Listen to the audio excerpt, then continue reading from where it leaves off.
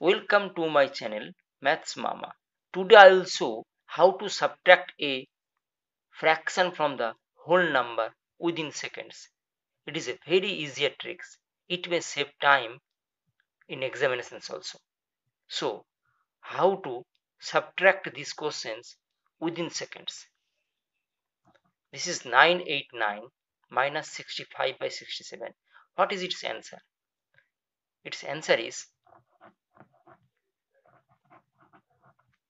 it's his answer. And say these questions.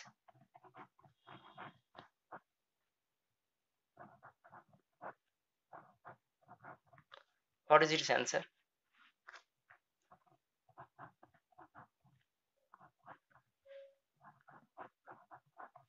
It's his answer. So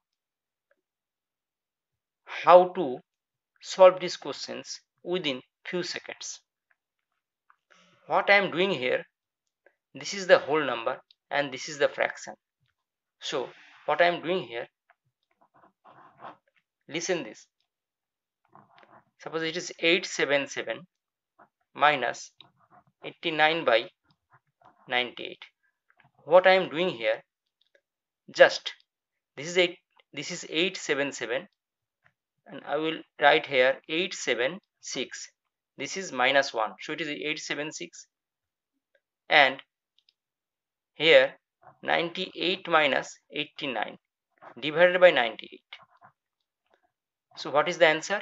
876 9 by 98 this is answer.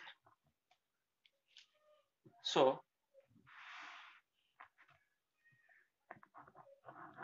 here is another one. 577 minus say 69 this is 75 so what is the answer?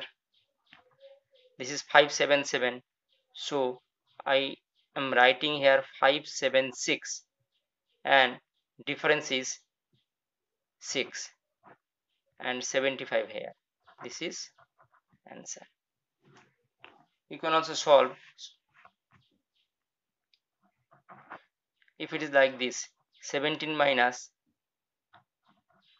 15 by 19 so this is 16 difference is 4 by 19 this is answer. This is very short tricks and you can save your time in examinations. Thank you